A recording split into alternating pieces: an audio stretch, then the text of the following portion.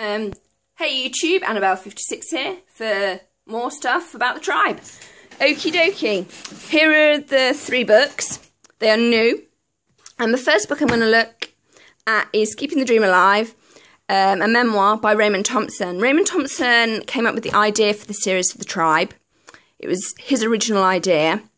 Um, his book is a really interesting read, but just have Asperger's syndrome, but that's not a negative thing. But it does affect how he writes because he doesn't use I, he uses Ray, and that's quite common with people on the ASD spectrum. They struggle with the concept of I, who is I? It's quite difficult. Um, so they will very often write in their um, third person. So hence Ray refers to himself as Ray. It's an awesome book. It's got some really, really great um, things, screenplays. It's just sort of really interesting about the industry, what it actually took. Because I mean, this guy, bless him, he actually lived. He didn't live in a house. Um, he kind of like lived between UK, New Zealand, and some place in the Mediterranean, I believe. Sorry, Ray, if I got it wrong. Um, you know, for like years just to fund it. It's absolutely incredible, the journey. But um, his use of prose is interesting, but it's a good read, and anybody who's a tribe fan should just read it. Um, it's awesome. I love the fact that he needs blue socks to write. It's just really, really good. It just shows you the creativity of it. I will just like dip in and read you um, a little bit just so you get some understanding of it. And then it's like, it had always been a problem from the very first time he started writing, no matter how much research, thought, or days or weeks, months of planning, structuring, developing characters and overall plot, deciding where and when to start a story, always presenting as seamlessly, insurmountably always presented a seemingly insurmountable challenge, and this screenplay was no different. So he does like to use um, lots of commas in his sentences, and these paragraphs are incredibly long. But to be absolutely honest, I really don't care. It's a brilliant book um, about what it actually took to make the series, and I really enjoyed it. Really, really enjoyed it. Okie dokie. Harry Duffin um, has written a mammoth book, The Birth of the Mallrats. This is just half of season one, which is this over here. It has. Uh, da, da, da, let's see. It has 181 chapters. I love the pictures on the back. It's just brilliant um, there I I hope that they're going to actually do the whole series in book form. So I'm guessing for like each series there must be like two to three books, and they are pretty thick. There's some really, really, really great character development. I'm not going to spoil it by telling you it. There's some extra scenes. We get more on the locos, which I think we didn't really get on the TV show for obvious violence reasons. I mean, we did in season two. We got some really great flashbacks with Ebony and her relationship to Zoot and what he did to her. But this book just puts it in uh, in context. Really, you've got Zoot.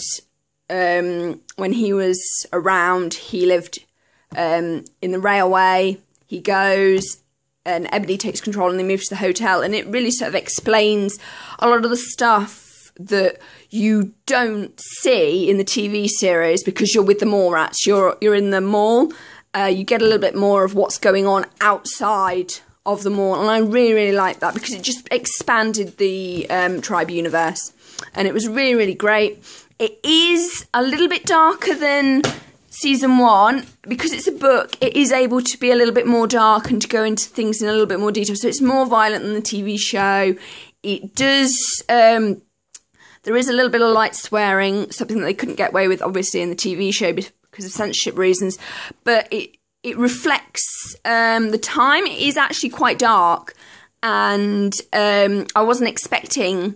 I was expecting it to be dark, but I wasn't expecting it to be that. It's almost like they've suddenly sort of gone, "Yay, we're in book form. Let's sort of like shake things up and let's really push the boat out um, with it." but it does reflect. I mean, that's what would happen if suddenly all the adults dropped dead and you just sort of like had all the under 18 year olds trying to rule the world. Um, you would end up with paracraze nutters um, and things. Okie dokie, I've talked about those two great books. Absolutely great books. This is the book that Tribe fans have been waiting for. This is season six of the Tribe, but it's not season six as it would have been because of the new tomorrow, which um, was developed. Basically, Channel 5 had committed themselves to six seasons of The Tribe. By series five, the older cast were basically sort of in their mid um, early 20s and it was stretching the premise and it was really sort of the show really wanted to go into sort of more young adult kind of areas and it was really pushing that and I guess Channel 5 got cold feet because they were like, oh, we can't have everybody falling pregnant and rape and all of this business. So they were kind of like, ah, ah, what do we do? What do we do? Um, so they took the main sort of story of season six and gave it um, to younger actors, sort of like from 12 to 14, I'm guessing. And they had it sort of like a prequel, or is it a sequel? Read this, and you kind of learn some interesting fact. I'm going to go with it being a prequel or a possible a sequel. I'm going to go with it being a sequel. Raymond disagrees, but um, it kind of makes more sense in my head for the continuity. Sorry, Raymond, to disagree. Um, and it took, it just sort of took the story of this island. Um, because as you know, at the end of season five, everybody's on a boat fleeing the city, and I'm not going to tell you why because that's a big enough spoiler as it as it is. And they took um, basically that island and those characters and developed that without the Mallrats visiting. So they did that instead of Tribe season six. This book um, basically continues on. You start on that boat at the end of season five, and it continues on with that story. You just don't get harmony and you don't get flame. You get some other things and you get some other characters that crop up um, in it, but you just don't have that detail. Every single tribe character is mentioned. Jaffa, the Guardian, is mentioned. Tai-San is mentioned. You don't find out what happens to everybody, but they're at least all mentioned, and it's a great way for closure. It really is. I read this and I now feel that if I never got um, season seven or season eight, I could move on with my life quite happily. Um, okay, it's by AJ Penn. It's called A New World, The Tribe, the long awaited story in the continuing saga of the tribe. I believe there's going to be more of these, and there's going to be more of those. And I'll read you the blurb. Forced to flee the city in their homeland, along with abandoning their dream of building a better world from the ashes of the old, the Mallrats embark on a perilous journey of discovery into the unknown. Cast adrift, Frew could have foreseen the dangers that lay in store. What is the secret surrounding the Jazolil? Apologise for name reading. Will they unravel the mystery of the collective? Let alone overcome the many challenges and obstacles they encounter as they battle the forces of Mother Nature, unexpected adversities, and at times even themselves. That bit is from the new to- tomorrow. Um, will they finally discover what happened to their friends and loved ones who disappeared? Oh, the deleted. Ugh.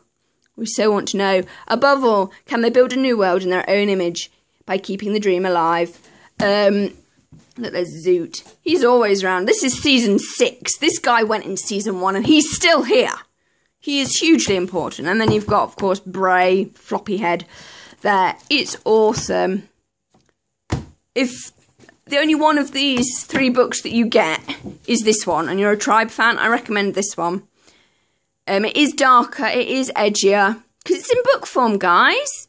It's no longer sort of cozy catastrophe anymore. It is going to be harsh. And I mean, some there's a scene at the end. I'm not going to describe it because I actually can't describe it on YouTube. It is sort of you know 15 plus certificate, but we're talking in a world where there are no adults. There are no rules.